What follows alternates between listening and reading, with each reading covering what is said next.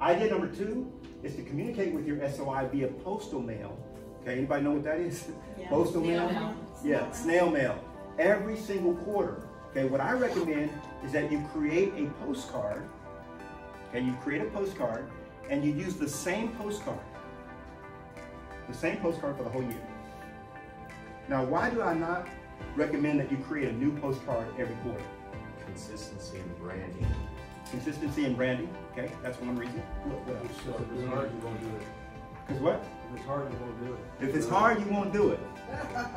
If I give you more, if, if, I- if, if there starts to become too much, um, I'm trying to, I'm trying to phrase this nicely, okay?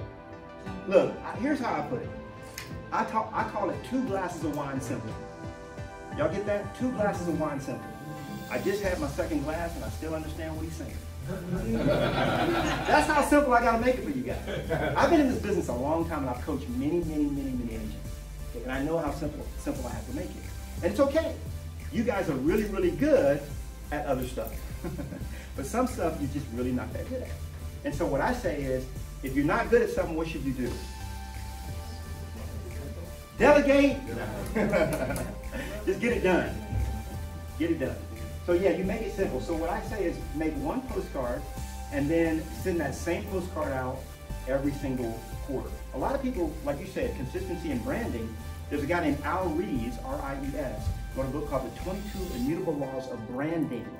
Okay, and there's a lot of truth to what you're saying, but when I talk to a lot of realtors, they're like, man, there's no way I can have the same postcard. They'll remember. Look, this research is in, and according to the research, it takes six to 10 touches on a person that you haven't met before. Six to 10 touches before the person ever even realizes you exist.